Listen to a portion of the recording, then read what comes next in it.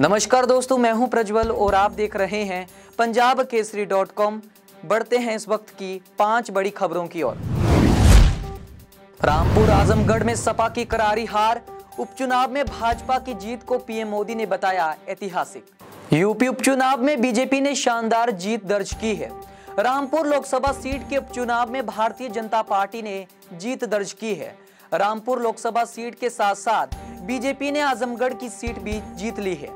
Rampur Lok Sabha seat के उपचुनाव में भारतीय जनता पार्टी के घनश्याम लोधी ने सपा प्रत्याशी आसिम रजा को बयालीस हज़ार वोटों से हराया। वहीं आजमगढ़ उपचुनाव में भाजपा के दिनेश लाल निरुआ ने समाजवादी पार्टी के प्रत्याशी धर्मेंद्र यादव को मात दी है। यूपी उपचुनाव में मिली जीत को प्रधानमंत्री नरेंद्र मोदी ने ऐतिहासिक करार दिया है। उन्होंने कहा कि आजमगढ़ और रामपुर उपचुनाव की जीत ऐतिहासिक है और केंद्र और उत्तर प्रदेश में डबल इंजन सरकारों के लिए व्यापक स्तर पर स्वीकृति और समर्थन का संकेत है।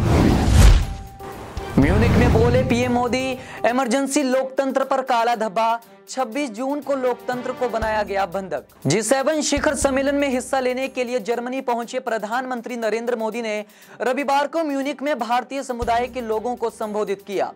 पीएम मोदी ने अपने संबोधन में आपातकाल से लेकर लोकतंत्र तक के मुद्दों पर बात की।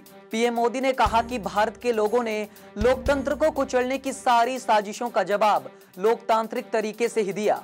हम भारतीय कहीं भी रहें, अपने लोकतंत्र पर गर्व करते हैं।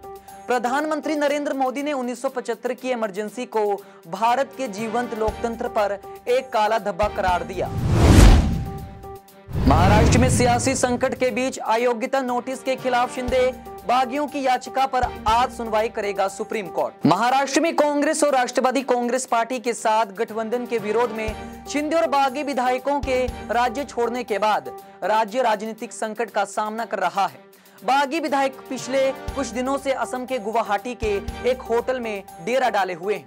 तो वहीं आज सुप्रीम कोर्ट शिवसेना के बागी नेता एक शिंदे और विधायकों की याचिकाओं पर सुनवाई करेगा, जिसमें उन्हें महाराष्ट्र के डिप्टी स्पीकर द्वारा जारी अयोग्यता नोटिस और शिवसेना विधायक दल के नेता के रूप में अंजय चौधरी की नियुक्ति को चुनौती दी गई। है डिप्टी स्पीकर ने ठाकरे की टीम की अयोग्यता याचिका पर 16 भागी विधायकों को नोटिस जारी किया था।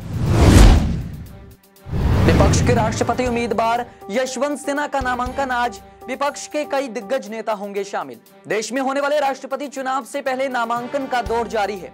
एनडीए प्रत्याशी द्रौपदी मुर्मू के नामांकन दाखिल करने के बाद आज विपक्ष के उम्मीदवार यशवंत सिन्हा अपना नामांकन दाखिल करेंगे। वहीं इस दौरान विपक्ष अपनी ताकत दिखाने की पूरी कोशिश करेगा। यशवंत सिन्हा के नामांकन के दौरान शरद पवार, राहुल गांधी और अखिलेश यादव मौजूद रहेंगे। वहीं राजस्थान के सीएम अशोक गहलोत, तमिलनाडु के सीएम एम के स्टालिन भी शामिल होंगे। राष्ट्रपति उम्मीदवार यशवंत सिन्हा के नामांकन के लिए विपक्षी नेता दिल्ली पहुँच चुके हैं। अग्निपथ योजना के खिलाफ आज कांग्रेस करेगी देशव्यापी प्रदर्शन। सरकार पर दबाव बनाने की रहेगी कोशिश। देश में जब से सरकार नई अग्निपथ योजना लेकर आई है, तब से इसका देश भर में विरोध प्रदर्शन हो रहा है। विपक्षी पार्टियाँ लगातार इस मसले पर केंद्र सरकार को घेर रही हैं। इसी को मद्देनजर रखते हुए आज कांग्रेस के कार्यकर्ता सरकार की अग्निपथ के खिलाफ प्रदर्शन करेंगे। कांग्रेस के कार्यकर्ता देश में हर विधानसभा में अग्निपथ योजना के खिलाफ सड़कों पर उतरकर विरोध प्रदर्शन करेंगे।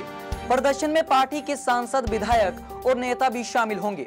अग्निपथ योजना को लेकर कांग्रेस कार्यकर्ता और नेता देश भर में सुबह 10 बजे से दोपहर एक बजे तक प्रदर्शन करेंगे। फ़िलहाल अभी के लिए इतना ही। ऐसी तमाम अपडेट्स और न्यूज़ स्टोरीज देखने के लिए देखते रहिए पंजाब केसरी डॉट कॉम।